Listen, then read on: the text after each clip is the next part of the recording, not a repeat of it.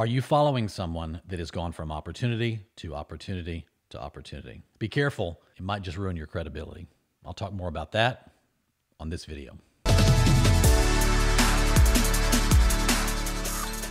Okay, the reason I want to talk about opportunity hoppers, as I say it, and, and first of all, I, I, have to I have to hand it to anybody that's constantly going after it, right? I've been in lots of things over the years. I've been made fun of for um, being into new things by other people. I get that. But there is a point where somebody will say, Hey, this is the greatest thing ever. You got to join me. This thing is amazing, et cetera, et cetera, et cetera. And then six, eight months later, four months later, they're on to the next thing. And suddenly, the thing that was the greatest thing ever is now totally demonized. And this new thing is better than anything, and nothing can top that. And then a few months later, oh, well, the thing that I was in before and that I couldn't hold a candle. Now this new thing is absolutely incredible. And what happens is is a lot of those folks have a very strong personality and they will drag large groups of people, many times the disgruntled people that are having a challenging time actually growing uh, any successful business or opportunity, and they'll have followers that lead the way. But here's the problem if you are that follower, you're going to lose credibility because everybody you're talking to, you're following the pattern. Now you're telling everybody again that the last thing was bad, this new one is good. And there has to be a point where you stop following the greener grass and the latest sizzle and you bear down and you build your business.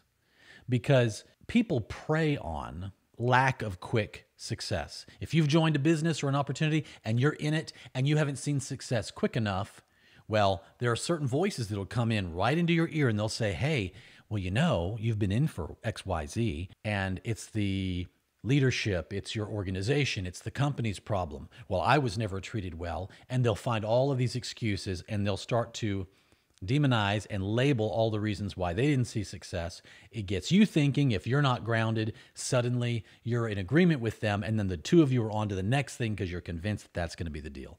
And I will tell you something it's a classic trap. Be very, very careful. It happens in business, it happens in life, it happens in churches, it happens in home based businesses, it happens to entrepreneurs. It's not uncommon.